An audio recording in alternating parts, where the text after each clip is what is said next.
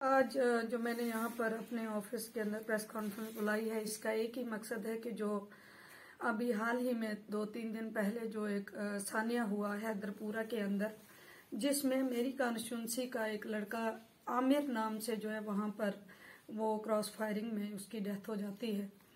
तो उसी सिलसिले में क्योंकि हमने अभी तक तीन चार दिन से हम देख रहे थे कि गवर्नमेंट का कोई ना कोई फैसला ज़रूर आएगा। जिस तरह से उन्होंने, हम तो उनकी सराहना करते हैं कि उन्होंने एक अच्छा फैसला लिया और कश्मीर के दो बॉडीज जो है अपने लवाकिन को हवाले की। लेकिन अभी तक जो तीसरी बॉडी है सिविलियन की, वो अभी तक उसका कोई भी एग्ज्यूम करने का ऑर्डर अभी तक गवर्नमेंट ने नहीं दिया है। तो उसी सिलसिले में आज यहाँ पर बात करने के लिए मैंने आपको मदू किया हुआ है। मैम, देखिए, क्योंकि कश्मीर में हमने देखा दो डेड बॉडीज जो है लवाहकीन के हवाले कर दी। लेकिन जो संगलदान से ताल्लुक रखने वाले आमिर मादरे हैं, उनकी डेड बॉडी, उनके लवाहकीन के हवाले नहीं किए इस पर आप क्या कहेंगे? इसको आप किस नज़र से देखती हैं? देखिए, जहाँ तक ये सवाल है, क्योंकि गवर्नमेंट के सामने तो अगर सिविलियंस हैं तो सभी बराबर हैं।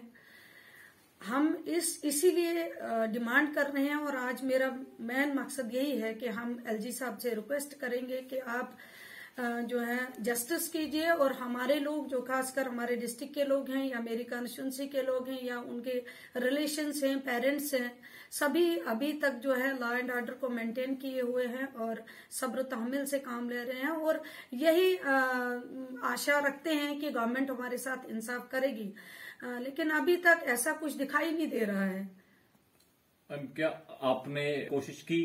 तो देखिए एज डीडीसी चेयरपर्सन मैंने दूसरे ही दिन जो है डीजी साहब से रिक्वेस्ट की थी इस मसले में कि वो जहाँ तक उनकी पेरेंट्स हैं या उनके रिलेशंस है, मैं भी वहीं से बिलोंग करती हूँ क्योंकि वो फैमिली जो है, वो नेशनलिस्ट फैमिली रही है, देशभक्त रही है और उन्होंने हर वक्त जो है मिलिटेंसी के खिलाफ लड़ा है, जो कि आप लोगों के सामने भी उसका एक बहुत बड़ा सबूत है क्योंकि गवर्नमेंट ने ही उनको एक ब्रेवरी अवार्ड से नवाजा है। और अभी तक उनको जो है अंडर सिक्योरिटी कवर रखा गया है बारह तेरह साल से। लेकिन उसके बावजूद भी ये समझना मुश्किल है कि उनका ही बेटा इस वक्त जो है टेररिस्ट करार दिया गया है। देखिए, मैं तो शुक्रगुजार हूँ एलजी साहब की कि उन्होंने इंक्वायरी जो है ऑर्डर की हुई है। लेकिन हम चाहते हैं कि इंक्वायरी हो, कानून अपना काम करे।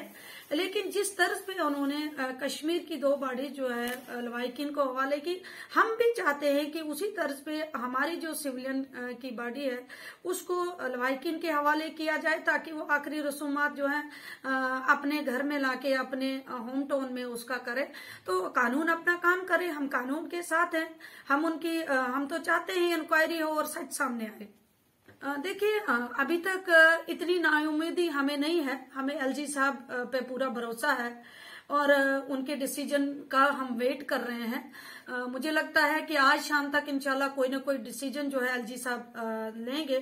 लेकिन अगर कहीं ऐसा होता है कि कोई डिसीज़न नहीं आता है तो उस सूरत में हम जो है, ज़रूर हमें जो है मजबूर होना पड़ेगा प्रोटेस्ट में जाने के लिए। इसका सवाल है स्टेटहुड का, उसके साथ साथ 370 का। आपने शायद कल ही देखा होगा कि जैसे ही फॉर्म्स लॉज को वापस लिया गया, उसमें चेंजिंग लाई गई। तो वैसे ही हमारे जो एमपी हैं, हसनैन मसूदी साहब, उन्होंने जो है गवर्नमेंट से प्रोजेक्ट किया है कि आप उसी तरीके से जो आपने 2019 में जो ऑर्डर्स लिए थे, जो खत्म किए थे ऑर्डर्स उनको दोबारा से आप जो है कर लीजिए अज्यूम कर लीजिए। और उसी आपने देखा कि नेशनल कॉन्फ्रेंस का तो हमेशा स्टैंड रहा है और कल ही उन्होंने जो है, उस पर जो है बात की है और आपके सामने आज पेपर्स भी आया हुआ है। स्टैंड रहा है, स्टेट रूल तो वापस चाहिए ही चाहिए, उसके साथ साथ 370 का भी वापस लाना जो है नेशनल कॉन्फ्रेंस का एक अहम स्टैंड है।